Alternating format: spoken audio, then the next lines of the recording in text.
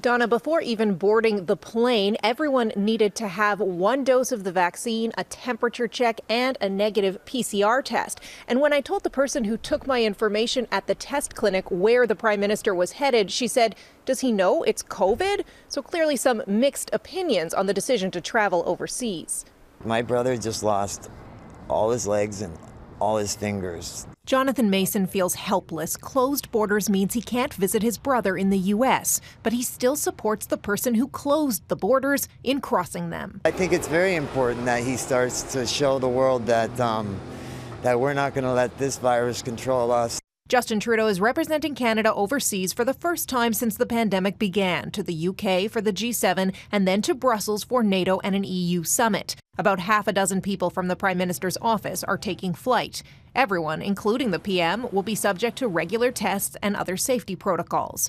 And when they return, the two week quarantine applies to all, though the Conservatives aren't happy the mandatory hotel stay will be in Ottawa, not one of the four approved cities for international flights. He shouldn't travel to the UK.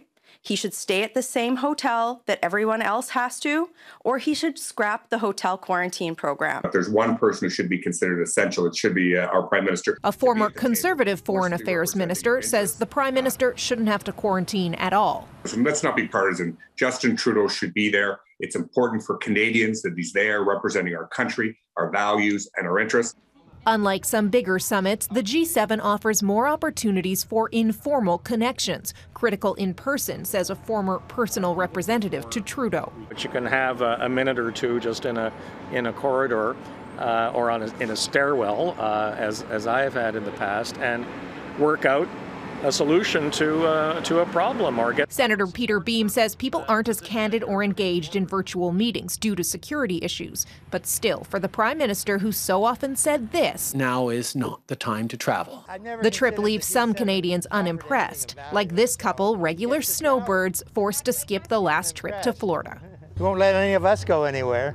And on that quarantine hotel, his office will only say that he's following public health guidelines. Trudeau himself said he was staying in a quote, government approved airport hotel, but no such venues exist in Ottawa, according to the government's own website. Donna? Abigail Bimman, thanks.